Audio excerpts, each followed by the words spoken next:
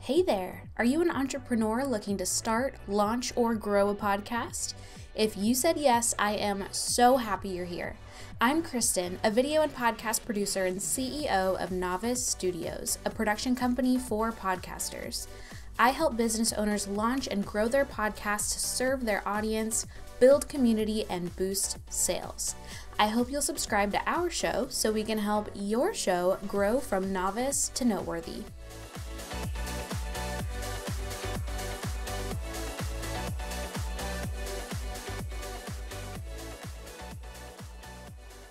Hey, what's up, and welcome to another episode. Well, the first episode of the Novice to Noteworthy podcast. I'm so excited to be chatting with you today about the four things you should not launch your podcast without. And if you've already launched your podcast, don't fret because you can always go back and add these things, work on integrating these things into your existing podcast. But if you haven't started yet, you don't want to start without these things. And by the way, if you need like logistical information or an actual checklist on the technical things that you need to launch, I have a free download. It's a podcast launch checklist. It has everything from literally soup to nuts, everything you need to start a podcast, what dimensions your cover art should be, um, my equipment recommendations, the software that you need to record, all the logistical things like that. You can download that free guide in the show notes. There's a link in the show notes for you to grab that. Um, in this episode, these are going to be things that are expanding on that launch checklist, getting into a little bit more detail and a little bit more strategy on what you want to have outlined before you start your show. So let's get started. The first thing that you don't want to launch your show without is crystal clear branding. Now, this is way more than just the visuals of your cover art, although that is very important too. You want it to have the colors, the fonts, um, an image of you, if applicable to your overall show and the overall message that you're trying to convey. Um, you want to have all of those things, but more importantly, it's also the actual title of your podcast is included in your branding. It's the music that you select. It's the messaging or like the fun words or phrases that you intersperse throughout your show all of those things factor into the overall branding and you want your branding to be so clear that people know exactly what your podcast is about. They can find you on all podcast platforms. Um, i'll get into that more in a second. You want all these pieces to be connected with each other and i can do an entire episode on how to title your podcast but as a general tip while you want your podcast name to be branded to you, you also don't want it to be so branded that people don't know what you do or what you offer. Um, this podcast is about podcasting. If I called it the podcast podcast, would that be accurate? Yes. Would I get lost in a sea of every single podcast that has the word podcast in it, whether it's about podcasting or not? Yes. so I had to take that into consideration. I have like a short kind of title and then I have a long tail after it. So the podcast is called Novice to Noteworthy. My company is Novice Studios. Noteworthy comes from the new and noteworthy section on Apple Podcasts where like trending podcasts are featured. Um, and then, of course, it's an alliteration, which we love to see.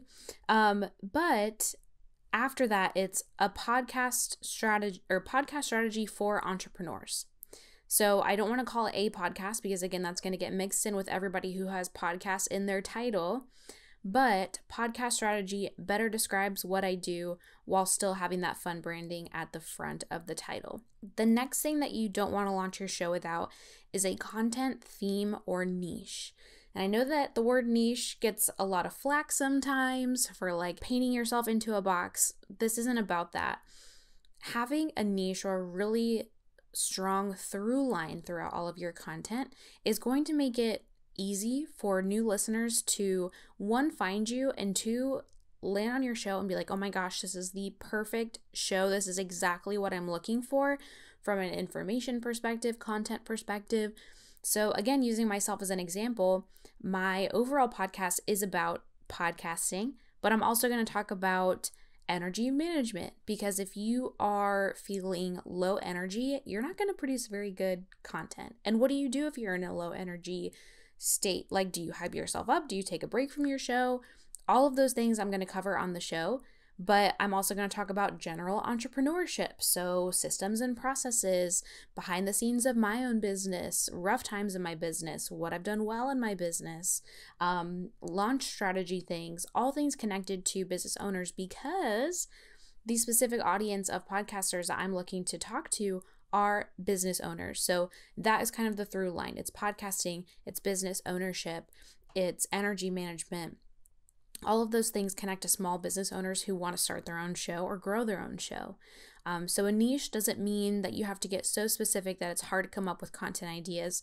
The themes allow you to branch out and build off of that overall theme and still be connecting with the audience that found you. If your content is all over the place, it's going to make it hard for people to subscribe and continue coming back to your show because they're not really sure what to expect from you on a, any given week. The third thing you don't want to launch without is amazing episode titles. And this, again, I could do an entire episode just on this topic, and I will because it is an art and a science, and it's really difficult to nail down like what is a good podcast title, especially if you're just starting out. And it's a skill that we've even built on in the last few years with my business and for our clients. But generally speaking, it is a balance of using searchable keywords, which means not just the keywords that you might use to find something, but how is the person who's looking for information about that topic going to search for it? And then you're balancing that out with what's going to make them click on an episode, what's going to make for an enticing title. Using this episode as an example, um, the title is Don't Launch a Podcast Without These Four Things. Now, I don't want to do my own horn too much, but I feel like that's a really good title.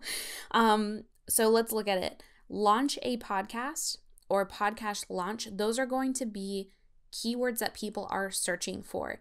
And I kind of went back and forth, and I might go back and forth before it's published. But if it's not called Don't Launch a Podcast, it might be Don't Start a Podcast without these four things because again you want to think about how your target audience is going to look for that information is going to what are they going to type into google or what are they going to type into apple Podcasts to land on that topic?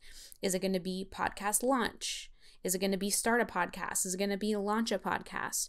And of course you don't want to like fill in your title with every single iteration of those but which do you think is the most likely that's going to be searched for? So i'm going to go with don't launch a podcast launch a podcast. Maybe they're searching for how to launch a podcast. So we're going to you know get that keyword in there. Um, without these four things this is like stop halt take a second take a breather. Are you about to hit publish on a podcast without these four things? Like i hope that it makes people stop and like really think about what they're you know what action they're about to take and like do i have my ducks in a row because another thing about my audience is that these are people who plan pretty far in advance for things in their business and they want to do things right. They might not necessarily be perfectionists, but they do they do want to go, do a good job at what they're putting out into the world. So if they're like, "Wait a second, am I missing something?" If I'm missing something, I want to know about it before I hit publish and not find out about it after. But again, if you're finding this episode after you've already launched, all you have to do is just tweak a little bit, of, you know, tweak a few things here and there. You can always change the title of your podcast. You can always change your cover art. You can always introduce new music and all that stuff. But, you know, for this the title in this example, the person that I'm speaking to wants all their ducks in a row, they're going to click on that title. At least I think they are. You'll find out because I'm going to share all the analytics from this podcast, so I'll tell you if they clicked or not, and I'll be honest with you. The last thing that you don't want to launch your podcast without is video versions of your show. Um, this can be a little bit scary, especially with long form content. You've heard about how important short form content is TikToks, Instagram Reels, YouTube Shorts, 60 seconds or less, getting straight to the point. Sitting down and making a talking video is really intimidating a little bit.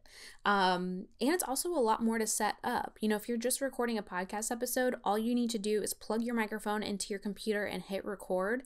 And as long as you're in, you know, a recording environment that's pretty good acoustics, that's all that you need from a setup perspective. And you can have your laptop right in front of you. I still have my laptop in front of me.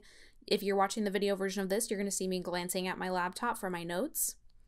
It just is what it is, but it feels like a lot. However, according to a Florida State University study in 2021, 70% of podcast listeners consume their podcasts on YouTube.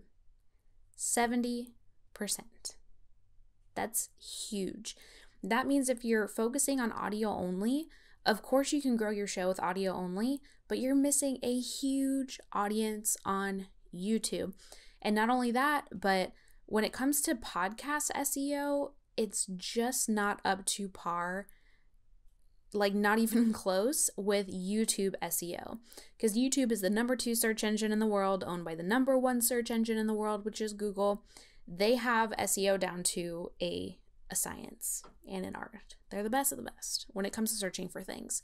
So, no matter how somebody types in what they're looking for on YouTube, YouTube is going to work their little tails off to make sure that whatever content is the most relevant to whatever it is that they're searching for is going to get pushed to the top. That also means that if somebody is searching for your content five years from now, they can still land on your video that's one of my favorite parts about YouTube and podcasting as platforms is that people can find old content just as easily as they can find new content. And that's amazing. That's something that you don't get on social media. Um, but I digress. I also want to point out that if you are wanting to post more video content on social media platforms, short form content, if you record a video versions of your podcast, you can splice them into shorter videos and publish those on TikTok, on LinkedIn, Instagram Reels, YouTube Shorts, you name it. You now have this plethora of content that you can pull from for that those short form videos. Also, Joe Rogan, love him or hate him, he also showed us that publishing, you know, two to five minute long videos from your full length podcast episode is a great way to grow your show, especially if they're super attention grabbing, if they're controversial, which we're going to get into in another episode because I think that's something that we need to talk about going into 2023. Um, but it's just a good way to grow your show. So, out of all of our clients in 2022, the ones that experienced the most growth in monthly downloads had a presence on YouTube. They published video versions of their show every single week, and even if their video their video views didn't look that impressive on YouTube, it still translated to podcast growth. So, something to consider. If again, if you've already launched your podcast and you're audio only, consider adding video to it. It's only going to help you. It's not going to hurt you. It might be a little bit more work and a little bit extra effort, but it's absolutely worth it. So that is it for my list of the four things you shouldn't launch your podcast without. If you are finding that you need more support in launching your show, we do have a podcast launch package, and I would love to be a partner with you in that endeavor. You can head to the link in my show notes to book a discovery call with me and to learn more about that service. Thank you so much for listening, and I will see you in the next episode.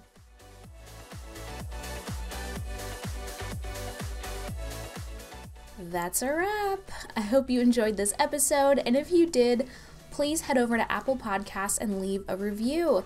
Written reviews are incredible, but even a quick five star review is so helpful for our show. You can also rate us on Spotify. If you listen over there, you can give us five stars over there as well.